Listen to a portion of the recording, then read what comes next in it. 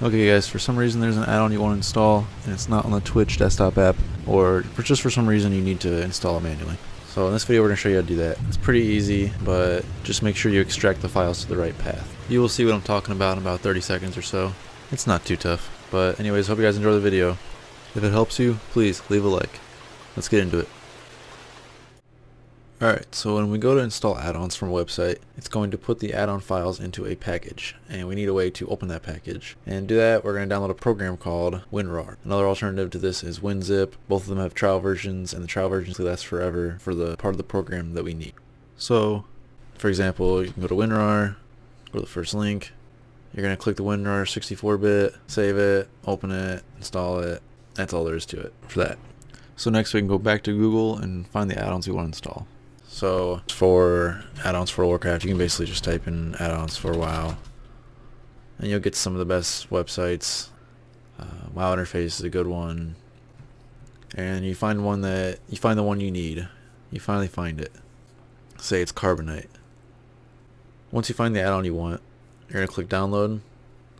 Make sure it says that it's gonna open it with WinRAR or whatever program you decided to unpackage it with. You're gonna click OK it's going to download the package. If it's expired, just click that X. We can still do what we need to do in the program, which is all that matters, which is extracting it. So we're going to click extract, and it's going to take the files for the add-on, and it's going to open the package, basically, and put them where we want. And in this case, for Windows, it's going to be in your local disk, program files, 86,